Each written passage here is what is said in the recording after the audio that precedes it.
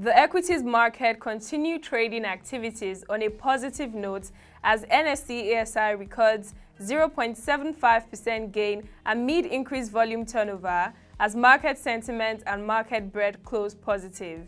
Its year-to-date returns currently stands at minus 9.55%. Welcome to the Market Opening Gong, the program that gives you updates from the Nigerian capital market.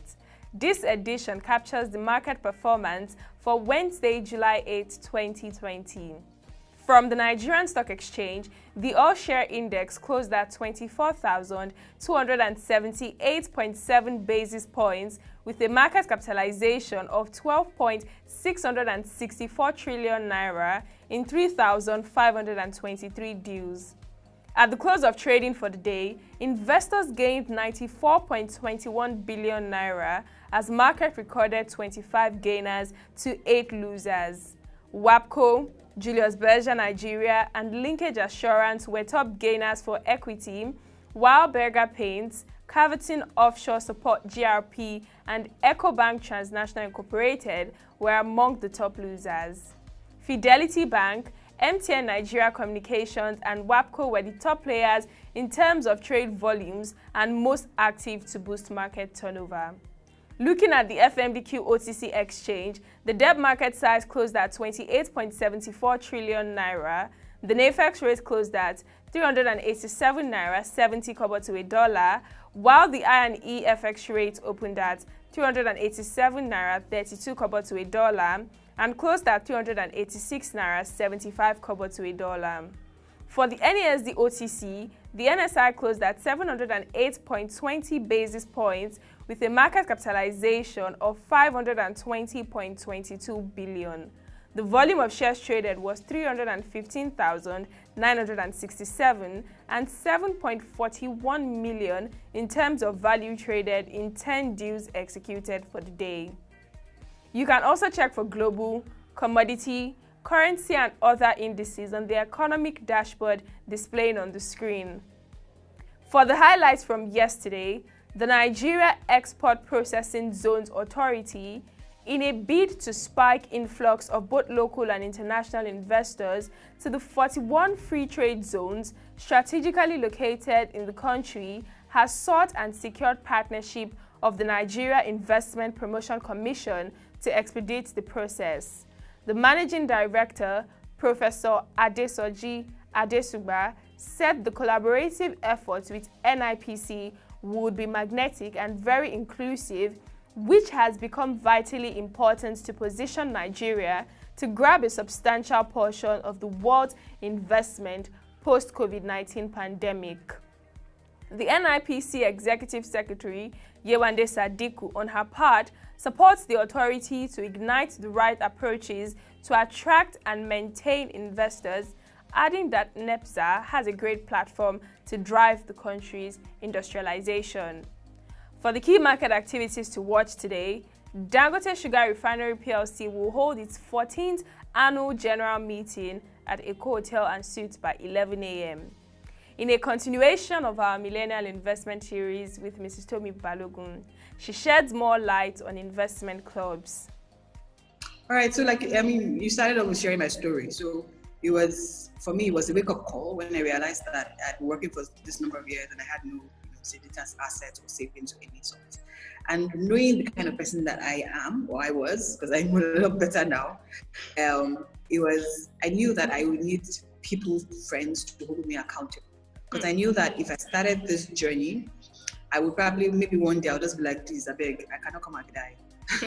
I didn't come here to kill myself let me just spend this money, you know. So it was, I knew that I needed that accountability. So I had a group of MBA classmates and we said, you know what, let's start an investment. You know, at the time we didn't follow an investment club. We just knew that we wanted to go a step further or a step higher than the popular Ajo or Isusu that a lot of people do. So if you know the traditional saving schemes, such as Ajo or Isusu, people just come mm-hmm. together and they pay each other in cycles. But I knew that I didn't want that. I wanted something that we could come together invest in you know stock market and assets and small businesses and actually see that money grow over a period of time. You know, so right after my MBA, we started first salary, first income. We started taking money out. You know, we made investment in bill.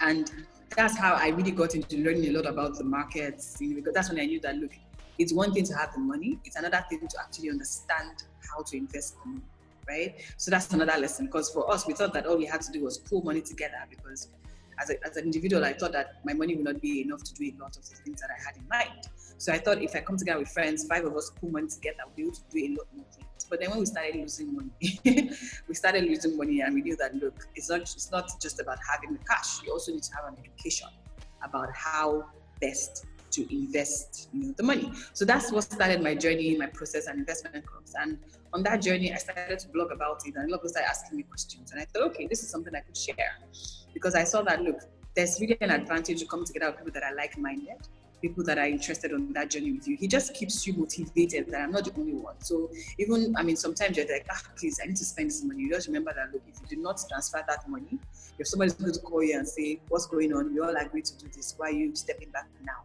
You know, so I started to blog about it and that led me on the journey. So I've also found out that there are different models of investment clubs. So when we started our model, it was a financial model. We would contribute money and we All would right. invest actively over time. But then I realized that not everybody was at that point mm. where or we're ready. You know, so it's one thing to be ready. So for instance, you can start an investment club and start contributing money and then you start losing money, you'll be afraid. like, I did not come here to come and lose money business, right? So it's one thing to be ready, it's another thing to know that, oh, I need to learn how to invest first. So because of that, I wrote a book, I, I built a framework around investment clubs. And I thought, you know what, there are three models of investment clubs. Beyond the model that we hear about from the United States, there should be another community model, which is the Green Investment Club, where we all come together as a community to learn, together, share investment opportunities, and basically grow together. You know, so I have the financial club, which is what I started with my friends six years ago. And I also have the community model, which is the Green Investment Club. Now, the Green Investment Club, we have over a thousand members across 13 countries, and till date we've done over 2.2 billion. That's five million dollars. So that's a thousand young people. Absolutely, a thousand wow. amazing young millennial investors and from sometimes it gets really emotional for me because I started this journey with 35 members. And I see those 35 people today actively investing. They're like, Tomi, where's the next investment opportunity? You know, we I mean seeing the change in two years. I get emails and somebody sometimes they say to me, Thank you. Thank you so much. I can't believe I own real estate, I own stocks, I own all of this. I mean, mm-hmm. people have just been like me, working for four, five years and owning nothing, right? Yeah. So with that model, we've taken advantage of the power of many as well. So we attract investment opportunities. And because we want to do things correctly, we do due diligence, which is one of the ways we educate people about scams, how to avoid bad investment opportunities. Until date, we have not had a bad investment, um, an investment go bad. Any investment that we have put our money to in the green investment because we are very, very careful and selective right? So yes, I mean financial markets go up and down, but I'm saying in terms of us investing in something that goes bad, we haven't had that, right? So that's the Green Investment Club, the community model, you know, and it's been an amazing journey, and I'm looking forward to growing more and more and educating more people on this journey. Now, the final model, which is what I write about in my book, is the project-based model. Okay. So for that model, I saw that there was an opportunity for people to come together and do projects, say in real estate or something. Most most um, I mean most popular is the real estate.